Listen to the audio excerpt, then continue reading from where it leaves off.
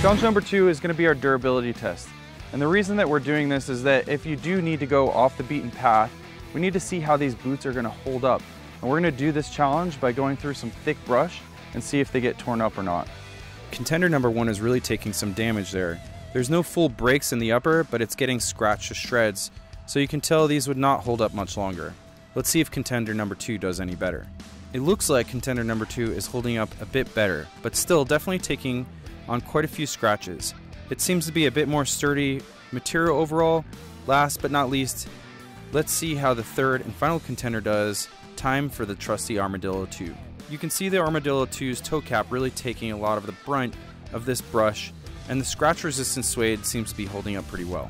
Contender number one definitely could have done better. As you can see, there's actually quite a bit of damage on the front of the rubber toe cap. And this rubber toe cap is really thin. So I think that's part of the reason why it didn't do very well. Contender number two did a lot better. However, the rubber toe cap is very small. It's only in this front part.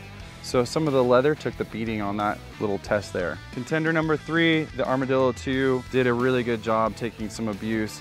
And I think that that really can be attributed to the fact that it has this really big rubber toe cap up here that is reinforced. So it's able to really push through tough conditions and last and take a beating. So I'm gonna have to say, once again, the Armadillo 2 crushed it in this test.